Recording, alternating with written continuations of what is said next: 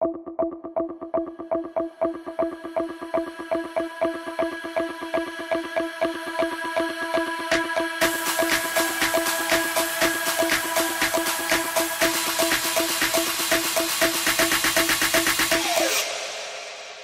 տապանում հյուրընկալել եմ քաղաքական գիտությունների տեխնացու Գուրգեն Սիմոնյանին։ Պարոն Սիմոնյան, շնորհակալ եմ հրավերն ընդունելու համար։ Շնորհակալ եմ հրավերի համար։ Բաքուն հրաժարվեց արտգործնախարարների մակարդակով Վաշինգտոնում հանդիպումից, պատճառը ԱՄՆ պետքարտուղարի տեղակալ Ջեյմս Օբրայանի հայտնի հայտարարություններն են առայն, որ Ադրբեջանի հետ հարաբերությունները սեպտեմբերի 19-ից հետո նորմալ չեն կարող լինել, եթե առաջընթաց չկա խաղաղության բանակցություններում։ ԱՄՆ կոնգրեսը նաև միաձայն ընդունեց բանաձև, որով արգելում են Ադրբեջանի ռազմական աջակցություն ցուցաբերել այո 907 բանաձևը եւ չեղարկեցին Բարսաշճան պաշտոնյաների այցերը Սա արդեն Բաքվից արձագանք կա, գնահատել են միակողմանի մոտեցում եւ ԱՄՆ-ին զգուշացնում են, որ կարող է կորցնել միջնորդի իր դերը։ Կխնդրեմ գնահատել Բաքվի դիրքորոշումը քաղաքականություն այս փուլում եւ ԱՄՆ-ի գործողությունները։ Արդյոք դրանք ուշացած չեն, հետեւաբար նվազ արդյունավետություն կարող են ունենալ միանշանակ ուշացած են, բայց ես կարծում եմ, որ Միացյալ Նահանգները հույս էր փայփայում, որ Ադրբեջանի նպատակները անկեղծ են։ Իհարկե հայկական կողմի համար դա առավել քան ակնհայտ էր։ Մենք պատմական հարացույցեր ունենք, գիտենք նրանց կողմից անկեղծ խոսքը կամ չգիտեմ, ազնիվ խոսք կոչեցյալը ինչպիսի դրսևորումներ կարող է ունենալ, դա հիմա պետություն է, սխալվել է, ժամանակային առումով փորձել է հասկանալ իրողությունները, տեսավ որ անհնարին է այդ պարոնների հետ պայմանավորվելը։ Ընդ որում պատճառը բանությունը այստեղ որևէ էական նշանակություն չունի, որովհետև Գրանադայի այցելությունը կապված էր ինչ որ այլ այցելության հետ, Բրյուսելը առողջության հետ, Պարզավոր Վաշինգտոնն էլ կամ Ամերիկայի Միացյալ Նահանգների տիրույթներն էլ պետք է ինչ-որ հայտարարություն պատճառաբանություն բերեն եւ հղում կատարեն երկկողմ ձևաչափի շրջանակում խորը ճգնաժամի մասին։ Սա եւս մեկ անգամ ազդակ է եւ հնարավորություն է տալիս Հայաստանի Հանրապետության իշխող վերնախավին հասկանալ, որ Ադրբեջանը ամենևին էլ կանգնած չի խաղաղության արարման քաղաքականության ճանապարհի վրա, այլ ընդհակառակ Ադրբեջանը կանգնած է ռազմի ճանապարհի վրա ռազմի ճանապարհի վրա եւ մենք շատ լավ գիտենք որ թե բորելի հայտարարություններից ելնող իրողություններով պայմանավորված, թե Միացյալ Թագավորություն եւ Հայաստան ռազմավարական երկխոսության մեկնարկով, թե Ֆրանսիայում Նիկոլ Փաշինյանի գտնվելու հանգամանքով, թե Հայաստանի Հանրապետության քաղաքասարակության ներկայացուցիչների բազմա ներկայացուցչական պատվիրակության այցով Բրյուսել, Արևմուտքը հստակ ազդանշաններ է հղում Հայաստանին, որ նա գետնի վրա ռեալ գործառույթներով եւ ռեալ միջոցներով կանգնած է Հայաստանի Հանրապետությանը օժանդակելու գործընթացի վրա եւ դա անում է մենք սպառազինության ոլորտում կարող ենք դա նկատել մենք կարող ենք դա նկատել ինչպես քաղաքականության ոլորտում տնտեսության ոլորտում այդ թվում նաեւ Հայաստանի Հանրապետության առնչանցիկ ասոցիացմամբ պայմանավորված պատրաստակամությունը հնչեցնելով որտեղ մենք գիտենք որ Վրաստանը արդեն ԵՄ անդամակցության հատուկ կարգավիճակ ձեռք բերեց այդ կարգավիճակով պայմանավորված Հայաստանի Հանրապետությունը կարող է ստանալ այն շատ կարճ ժամանակահատվածում, որ 30 տարում հնարավոր կարողա չլիներ ստանալ։ Ինչու որտեվ եթե հատուկ ստանդարտներ սահմանվեցին վրացական շուկայի համար, ԵՄ ստանդարտներին համահավասար, ապա մուտքի արտոնագրերի բարթացման հարցի առաջ կկանգնի Հայաստանը։ Վիզա պետքա ձեռք բերենք, որ մտնենք Վրաստան Վրաստանը կյանքի ուղի է։ Հիմա արևմուտքը դա հասկանում է, չէ՞։ Հետևաբար մեզ ասում է Հայաստանի Հանրապետություն։ Մենք ձեզ ընկալում ենք իբրև մերձավոր արևելքում ժողովրդավարության փարոս, եւ դուք ունեք շանս էքստրաորդինար ձեր երևակայությունը դրեք մի կողմ, որ այս կամ այն դաշինքներին կամ այս կամ այն իրողություններին ասոցիացվելը կարող է տարիներ պահանջել։ Ձեր համար հատուկ ռեժիմ կարող է գործել 1-2 ամսվա ընթացքում դուք կարող եք այնպիսի թռիչք արձանագրել այս ուղությամբ, որ ուղակի դուք էլ ապշեք։ Պարզ ընտրության արժև են կանգնեցրել թե Հայաստանին, թե Ադրբեջանին։ Ժամանակներն են կանգնեցրել բոլորիս ընտրության արժև, հիմա ընթանում է համաշխարհային պատերազմ։ Չկան այնպիսի երկրներ, որոնք կարողանան կատարյալ չեզոքություն ապահովել, եթե դրանք չեն գտնվում այլ մայրցամաքում, օրինակ Լատինական Ամերիկայում կամ Ավստրալիայում։ Եվրասիական տարածաշրջանում եւ հյուսիսամերիկյան տարածաշրջանում, ինչու՞ չէ նաեւ աֆրիկյան տարածաշրջանում պետությունները պետք է կողմնորոշվեն։ Յո երթաս, ում հետ ես շարունակում քո ճանապարհը, հարգելի անցորդ։ Եթե դու շարունակում ես քո ճանապարհը ոչ քեզ նմանների հետ, պատրաստ եղիր ցեղասպանվելու։ Եթե դու քո ճանապարհը շարունակում ես թևանցուկ քեզ նմանների հետ, դու վաստակելու ես շանս քո գոյությունը ապահովելու։ Ամեն ինչ շատ པարզ է։ Գիտեք ինչ, ես կարծում եմ, որ ժամանակն է, որ ուտոպիստական հայացքները եւ իրողությունների ոչ հավասարարժեք գնահատելը, իսկ ո՞րն է դա, երբ որ մենք մեր ցանկացածը իրականության տեղ փորձում ենք անցկացնել։ Փոխարինվի stop հավասարարժեք եւ իրատեսական քաղաքականությամբ։ Իսկ իրատեսությունը մեզ ասում է վաստակեք դաշինքներ, ազատեք դաշտը, աղտեղություններից, որոնք որ զբաղեցնում են ՀԱՊ, ԵԱՏՄ եւ ԱՊՀ կոչեցյալներից։ Ձևավորեք հնարավորություն պետականության դիմադրողականության աճի եւ բարձրացման եւ դուք կտեսնեք այդ ռիսկերն ու ռազմական վտանգների չափաբաժինը ինչքան կնվազի որտեվ այլ կերպ հնարավոր չի միայն վտանգավորների հետ կխոսեն չոր հաշվարկով տեսնեն Հայաստանի Հանրապետության նկատմամբ ռազմական ագրեսիան թանկ է արժենալու, կսկսեն խոսել։ Եվ մենք կարող ենք նրանց պատասխանել նրանց հասկանալի լեզվով։ Ուր կկորչեք, եթե չխոսեք։ Հիմա ինչ հաշվարկներ ունի Ալիևյան ռեժիմը, որ մտնում է ԱՄՆ-ի հետ այսպիսի հարաբերությունների մեջ։ Նրանք ասացին, որ մենք էլ փոխադարձաբար թույլ չենք տա բարձրաստիճան պաշտոնյաների մուտքը մեր երկիր։ Ճիշտ է այդպես ուղիղ չասացին, բայց ասացին, որ անհարմար են գտնում այդպիսի պաշտոնյաների այցը իրենց երկիրը։ Ադրբեջանը աֆիլիացված պետություն է, նրանք ասոցիացվում են եւ նրանց ասոցիացումը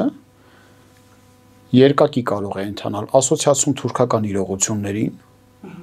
կամ ասոցիացում ռուսական իրողություններին։ Երկու ճանապարհն էլ նրանց ձեռնտու է, բայց ամենաշատ ձեռնտուն թուրքական իրողություններին ասոցիացվելն է, որտեղ նրանք ունեն ռազմավարություն, հետագայում ստանալ սիմբիոզ թուրքական իրողությունների եւ ռուսական իրողությունների։ Մեծ խանի տիրույթներ ուզում են միավորել։ Ոսկե հորդան ուզում են միավորել, արևմուտքը դա թույլ չի տալու։ Հիմա Ադրբեջանի մեծ հաշվով էական չի, ինքը կասոցիացվի կարճաժամկետ հերանեկարում Ռուսաստանի հետ երկարաժամկետ հերանեկարում միևնույն ռուսա-թուրքական կոգոնատի մեջ կհայտնվի շատ հզոր կարգավիճակով ռեգիոնում, թե կասոցիացվի կարճաժամկետ հերանեկարում Թուրքիայի հետ, եւ վերջնարժեքում նորից էլ այդ ոսկե հորդայի կոգոնատը կձևավորվի էլի մեծ պրեֆերենցիաներով եւ մեծ դերակատարությամբ տարածաշրջան։ Միևնույնն է Ադրբեջանը ասոցիացվում է։ Այստեղ կա մի հատ բայց։ Եվ այդ բայցը ճիշտ համընկնում է Հայաստանի Հանրապետության ֆիզիկա աշխարհագրական տարածքներով։ Հիմա եթե նոր աշխարհակարգում Հայաստանի Հանրապետությունը իր գոյությունը կարողանում է պաշտպանել, իսկ պաշտպանելու համար Հայաստանի Հանրապետությունը պետք է լինի ժողովրդավարական, ժողովրդավարական լինելու համար, մնալու համար պարտավոր է եւ իրա ասոցիացվել եւ արևմուտքի հետ սերտա, սերտացրած համագործակցային դաշտ ձևավորի ասոցիացվի անգամ եւ մասը կազմի հյուսիսատլանտյան անվտանգային տիրույթի եթե Հայաստանը պահպանվում է Ադրբեջանը լուծվում է ռուսականության մեջ եթե Հայաստանը չպահպանվեց նրանք լուծվում են թուրքականության մեջ միևնույնն է լուծվելու են, որովհետև նրանց պետականությունը հենվում է վերնախավի վրա, իսկ վերնախավը աֆիլիացված է։ Որովհետև ինչու է վերնախավից նրանց մոտ պետականաշինությունը վերևից ներքև process է, որովհետև ազգային նույնականացման խնդրեմ ունեն իրենք։ Իրենք պետականաստեղծ, պետականաստեղծ ջիղով ոչտված հանրույթ չունեն, որովհետև ինքնությամբ պայմանավորված խորքային խնդրեմ ունեն։ Մեր մոտ դա չկա։ Մեր մոտ պետությունը ներքևից է անդհատ ավիրվում է, անդհատ ազգը ազգային ինքնագիտակցության պայմանավորված իր բուրգը ստեղծում է։ Հիմա քանի որ հայ ժողովուրդը միշտ պետականաստեղծ ջիղով է օժտված եղել, վայն եկել մեզ տարել է, եթե հանգարց մենք ասոցիացվեցինք բռնատերությունների հետ եւ թուրքերը եւ ռուսները, որոնք միևնույն ժամանակ մեկ գավաթի մեջ դարձել են կապուչինո, կոֆես մալակում Նրանք էլ գիտակցում են, որ հայ ժողովրդին եթե թողնում են տարածաշրջանում, հայերը մի տարօրինակ բնավորություն ունեն, որը իմպերիայի խորհրդականը Թուրքմեչայի եւ Գյուլիստանի պայմանագրերի վերջնայությունքում զեկույց էր գրել Մոնոմախին, ասել էր այս հայերը տարօրինակ բնավորություն ունեն, նրանք մի հիմար երազանք ունեն վերստեղծել իրենց պետականությունը։ Եթե եւ թուրքերը եւ ռուսները գիտեն, որ հայերը անկախ ամեն ինչից մնացին այստեղ, անընդհատ հնարավորության պարագայում ապստամբություն են բարձրացնելու իրենց պետությունն են ունենալու։ Հետևաբար, եթե Հայաստանի Հանրապետությունը այսօր ասոցիացվեց բռնապետությունների հետ, դաշտը կմաքրեն մեզանից։ Հայաստան կմնա միայն աշխարհագրական անուն։ Բայց մենք ինչ ենք տեսնում, որ կլինի երկրորդ հայոց ցեղասպանություն։ Հետևաբար մենք ընտրություն չունենք, կամ ցեղասպանություն է լինում, կամ Հայաստանը շարունակում է մնալ ժողովրդավարական երկիր, դաշնակցելով ժողովրդավարական պետությունների հետ եւ վաստակում է շանս լինելու։ Հիմա Հայաստանը կարող ենք ասել, որ միանշանակ ընտրություն չի կատարել եւ եւի քաղաքականություն է վարում։ Ճիշտ է, մենք ռուսական կառույցներում այդ նախատեսված հանդիպումներին տարբեր մակարդակներով չենք մասնակցում, փոխարենը արևմուտքի ազդեցիկ պետությունների հետ երկկողմ հարաբերություններ ենք զարգացնում, բայց այնուամենայնիվ փաստաթղթերով շարունակում ենք մնալ նրանց հետ։ Դա էական չի, ամենաառանցքային նշանակությունն այն է, որ ինչ որ ծայրագավառների, վերակացուների խնդրանքներին Հայաստանի Հանրապետության վարչապետը չի անսում եւ չի համաձայնում եւ չի այցելում այդ հարթակներ եւ բազմա մակարդակ Արարատ Միրզոյանի չայցելելը, Արմեն Գրիգորյանի, դրանք շատ ողջունելի են եւ շատ կարեւոր են։ Հայաստանի Հանրապետությունը արդեն իսկ կողմնորոշված է, գիտեք ինչու, որտեվ միայն մեր որոշելը այստեղ ոչինչ չի լուծում, մեր փոխարենել են որոշել արդեն, ընդ որում որոշել է արևմուտք, այս ռազմավարական երկխոսությունները արևմտյան երկրներով է պայմանավորված։ Ինչու որովհետև նրանք ռազմավարական վերարժևորումների ենթարկելով ամբողջ գլոբալ ընդդիմամարտության ռազմավարական տարբեր ուղությունները հասկացել են մի կարևորագույն հանգամանք, որ Հայաստանի կորուստով նրանք կվտանգեն արևելյան Եվրոպայում իրենց պատերազմը Ես կանխատեսում եմ, որ Գառնանը խոշոր առաջընթաց է լինելու ուկրաինական ուժերի, որովհետև եկող տարի 2024 թվականին լինելու է Միացյալ Նահանգների ընտրությունները, դեմոկրատներին պետք է հիմնավորել ընտրող քաղաքացիներին, որ իրենք ինչու էին այդքան մեծ օժանդակություն տվել, իսկ արդյունքը ո՞րն է։ Արդյունքը պետք է ֆիզիկա աշխարհագրական դաշտի վրա ցույց տան Իսկ եթե աշխարհ ֆիզիկա աշխարհագրական տարածության վրա արդյունքը ցույց են տալիս հատուկ նշանակության տեխնոլոգիաների եւ սպառազինության մատակարարմամբ Ուկրաինային, ստացվում որ Ռուսաստանը սարսափելի մեջ հարված եւ կորուստներ է կրելու եկող տարի գարնանը առավելագույնը ամռանը։ Այդ դեպքում Ռուսաստանի Դաշնությունում սկսում են մտածել ինչպես կոնսերվացնել վերքը, որ հետագայում ուժերը հավաքելու պատճառով նոր հարվածը խփեն։ Իսկ կոնսերվացիայի միակ տարբերակը Հայաստանի չգոյությունն է։ Եվ արևմուտքը դա հաշվարկել է։ Հետևաբար մենք որթեգրենք այդ վեկտորը, թե չորթեգրենք, վեկտորն է մեզ արդեն որթեգրել։ Հիմա այս համատեքստում ռուսամերձ շրջանակներն ասում են, որ ամեն դեպքում լինելով գերտերություն ԱՄՆ-ն չունի այն գործիքակազմը այս պահին, որով կստիպի Բաքվին գնալ խաղաղության այդ համաձայնագրին։ Ոնց չունի, բա մենք ինչ ենք։ Բայց այդքան սպառազինություն ուղարկում է, որ մենք վիտրինաներում դնենք փոշիները վրայից սրբենք։ Եվ ինչ պետք է մենք անենք այդ սպառազինությամբ։ Հայաստանի Հանրապետության դիմադրողականությունը կարող են բարձրացնել այն աստիճանի, որ Հայաստանի Հանրապետությունը դառնա ֆորս մաժոր Ադրբեջանի համար ձեզ էլ գործիքը, ահա, գետնի վրա։ Բայց ասում են մենք չենք ստանում այն զենքերը, որոնք այդ ձեր ասածը իրականություն կդարձնեն։ Մենք ստանում ենք պաշտպանողական զենքեր։ Գիտեք, ռազմական փորձագետներին, եթե դուք խոսեցնեք, որոնց շարքին նաև համարում եմ ես ինձ, հարցակողական եւ պաշտպանողական զենք հասկացությունը դիվանագիտական աճպարարություն է այն զենքով, որ դուք կարող պաշտպանվեք, կարող եք նաև հարցակվել, այն զենքով, որով կարող եք հարցակվել, կարող եք նաև պաշտպանվել։ Էնպես որ Հայաստանի Հանրապետության դիմադրողականության աճը իզորուի է տարածաշրջանում դառնալու ֆորս մաժոր Ադրբեջանի համար։ Եվ դա կլինի Միացյալ Նահանգների ձեռքը տարածաշրջանում։ Այնպես ինչպես որ ամենուր է այդպես վարվում ամենուր եք տեսեք օրինակ երբ որ հունական կղզիների վերաբերյալ Թուրքիայի հետ ընդդիմամարտության մեջ մտան Ռաֆալների մատակարարումը Պելոպոնեսյան թերակղզի ամեն ինչ փոխեց ուժային հավասարակշռությունը։ Միացյալ Նահանգների պլազդարներից մեկը Մերձավոր Արևելքում Իսրայել պետությունն է։ Տեսնում եք ցախալի ընդհանուր պոտենցիալն ու ներուժը։ Միացյալ Նահանգների պոտենցիալն է դա։ Միացյալ Նահանգները երբ որ տարածաշրջանում կենտրոնական Ասիայում պլազդարմ ուներ Աղվանստանում նրանց ընդհանուր աղվանական բանակի մարտունակությունը հսկայածավալ բարձրացրել էր։ Ընդ որում, երբ որ դուրս եկավ Աղվանստանից 80 միլիարդ դոլարի սպառազինություն թողեց այնտեղ։ Հետո ինչ որ այն նրանք իրենց երկյուղացությամբ եւ գաղափարախոսական տկարությամբ չկարողացան իրավիճակի նկատմամբ վերահսկողություն հաստատել եւ թալիբների իրավիճակը վերցրեցին իրենց ձեռքը, դա էլ հո Միացյալ Նահանգների խնդիրը չէր։ Հումանիտար կապիտալը Միացյալ Նահանգների խնդիրը չի, ձեր խնդիրն է Հիմա մեր խնդիրն է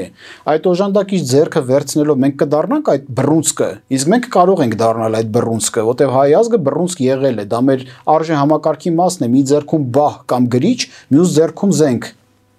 դարերի վեր մենք բռունցք ենք եւ այդ հնարավոր է ֆորս մաժորը ձևավորել տարածաշրջանում այդ քայլերը առաջանցիկ իրականացվում են թե հատուկ տեխնոլոգիաների տրամադրմամբ թե զինված ուժերի բարեփոխումների համատեքստում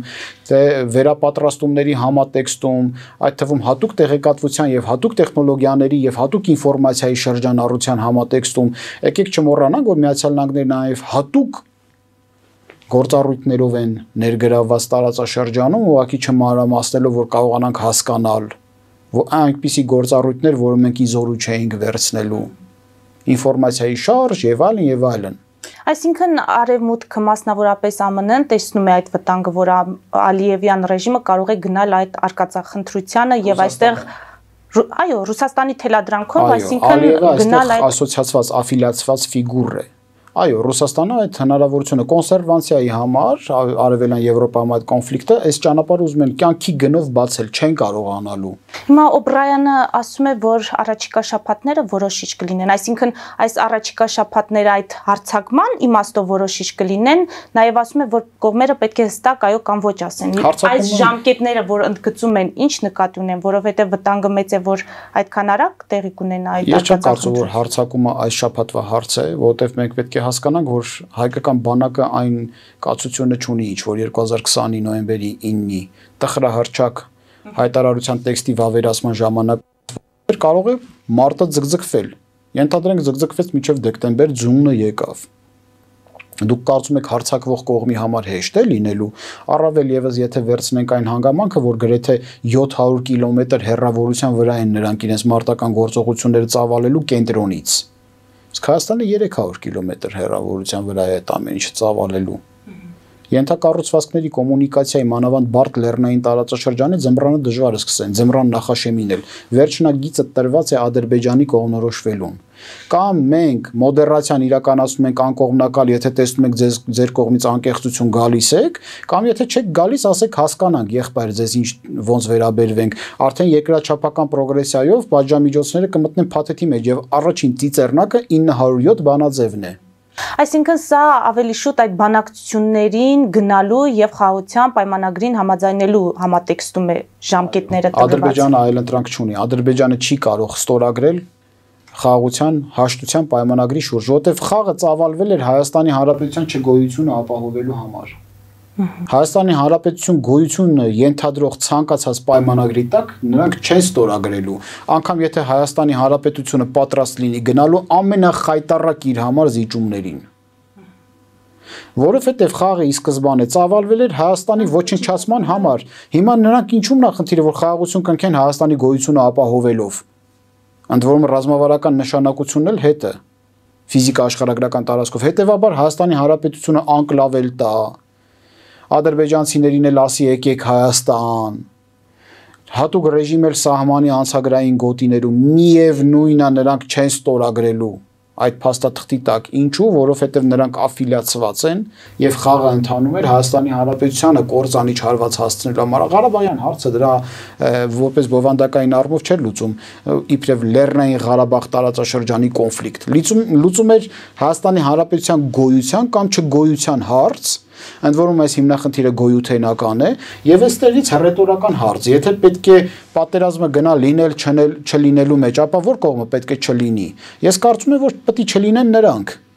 հետեւաբար բոլոր Ուղղակի հորրետեսական հաշվարկները, որ տարբեր խելոքներ ասում են, բա նրանց թվականակը, նրանց զինված ուժերը, այդ դեպքում հաշվարկեք ոնց է կանոն, որ գերազանցություն ապահովենք։ Խնդիր, որը ենթադրում է լուծում, լուծումների ինստիտուցիոնալ մոտեցում են եւ հանրային ներուժի գեներացման հարց են, լուծեք, գեներացրեք Տեսեք, պարոն Սիմոնյան, Օբրայանը իր հայտարարություններում հիշատակել է նաև Թուրքիայի դերը հայ-ադրբեջանական այդ հարաբերությունների հարցում, խաղաղության հասնելու հարցում եւ նշել է, որ Բաքուն հիմա ուժի դիրքերից է խոսում, սակայն պետք է իմանա երբ կանգ առնել եւ գործարք ընկնել առավել շահետ առավել շահավետ առաջարկի սպասելու փոխարեն այս ուղերձները փոխանցելու համար միջնորդներն աշխատում են Թուրքիայի հետ եւ այսօր ես ընթերցեցի, որ Թուրքիայի խորհրդարանական այդ հանձնաժողովը հետաձգել է Շվեդիայի Թուրքիայի անդամակցության քննարկումը ՆԱՏՕ-ին։ Սա համարենք Թուրքիայի պատասխան ինչ որ իմաստով նաև ԱՄՆ-ին ամբողջը ինչ որ կատարվում է տարածաշրջանում գլոբալ իրողություններով է պայմանավորված։ Սա եւս մեկ հարված տգետների կողմ շրջանառվող տարածաշրջանացման մոտեցմանը տարածաշրջաններում ամեն ինչ ինչ որ տեղի է ունենում ածանցյալն է գլոբալ իրողությունների այո եւ հիմա սպասենք միացյալ նահանգների արձագանքը Թուրքիային Եվ այս առումով Հայաստանի Հանրապետությունը պետք է առաջանցիկ զարգացում։ Գիտեք, մենք ապրում ենք մի ժամանակահատված, եկեք անկեղծ լինենք, այս իրողություններում անկեղծ խոսենք ռազմաքաղաքական ղեկավարության հետ, հարգելիներս։ Ժամանակներում ենք ապրում, որտեղ դուք պետք է եւ պարտավոր է ներգրավվեք ամբողջ հումանիտար կապիտալը, ինտելեկտուալ։ Decision making-ով պետք է զբաղվեն լավագույններից լավագույնները։ Եվ այս առումով Հայաստանի Հանրապետության դիմադրողականությունը կավելանա։ Ընդ որում ես նաև կարող եմ ասել, որ քաղ հասարակության, քաղ ծառայության ոլորտում, քաղ ծառայության ոլորտում ներ ված անհատներ կան, որոնք սաբոտաժի են ենթարկում։ Զեկույցներ ենք նախապատրաստում ուղարկում ենք կառավարություն, կառավարությունը հանձնում է համապատասխան մարմնին, համապատասխան մարմինը իր տգիտության պատճառով խիստ էմոցիոնալ է հրճակում, շպրտում է մի կողմ, հետո քայլ առ քայլ սաղ կետերը սկսում են իրականանալ։ Որոնք որ վերլուծության մեջ կային, գոյություն ունեին։ Ստացվում է, որ տգիտությունը մոխրությունը մեր կործանման հիմնական պատճառն է դառնում։ Մոբիլիզացնել է պետք հանրային ներուժը Հայաստանի Հանրապետությունը պետք է բարձրացնի դիմակայունությունը, ցնցումներ են սպասվում եւ այդ ցնցումները ակնկալելի են Գառնանը։ Որտեղ Գառնանը ես բացատրեցի ինչու։ Մանավանդ մենք պետք է ասենք, որ 2024 թվականի Ռուսաստանի նախագահական ընտրությունները չեղարկվեցին պատերազմով պայմանավորված, արդեն էլ բան չի, հատուկ օպերացիա չի, պատերազմ է